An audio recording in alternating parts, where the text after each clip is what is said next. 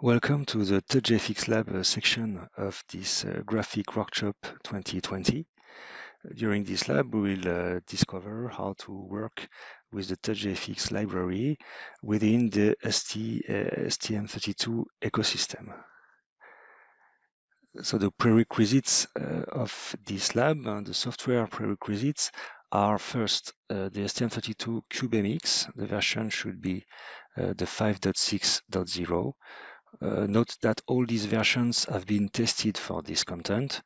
Uh, that doesn't mean then that uh, um, the latest version will not work. That it, at least uh, they were tested with this version.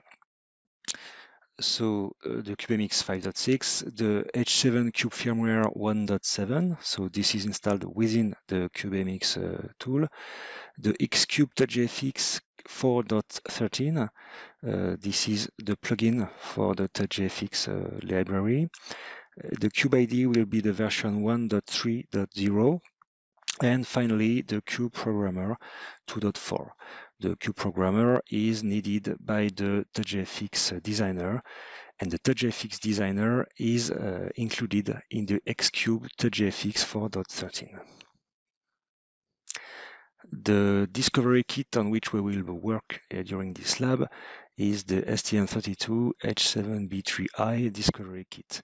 Uh, the main interest of this board is to have a large amount of RAM, 1.4 megabytes of RAM, and uh, also 16 uh, megabytes of uh, SDRAM, external SDRAM.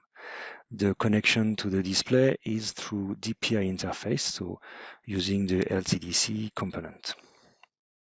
And it has a touch panel and it supports both RGB 888 and 565, so 24 bits or 16 bits uh, display, uh, color display.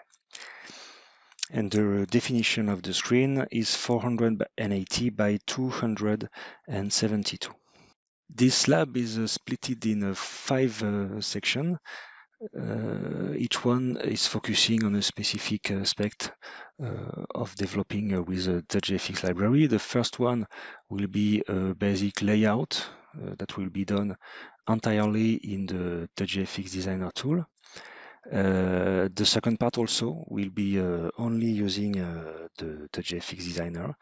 So you do not have to uh, to use an external IDE uh, if you want to do some quick prototyping on an ST development kit. You can use only the TouchGFX designer because it has an internal GCC toolchain to, to, to build the target the target binary and is using the cube programmer to flash the board. And it also contains a PC simulator. So you really, as a first step, for a basic interface, you can use only the TouchGFX designer on an ST uh, development kit. The part three is introducing the CubeIDE uh, development tool uh, in the sense that uh, we will modify uh, the source code directly, not uh, outside the TouchGFX designer tool because this tool does not support all the features that can be implemented in uh, using the TouchGFX library. So we will modify uh, directly the source code and uh, to interact with uh, an internal sensor on the MCU, the junction uh, temperature sensor, which is the built-in in the MCU. And part four uh, will also interact with uh, some uh, hardware component, which will be a physical LED and a physical button.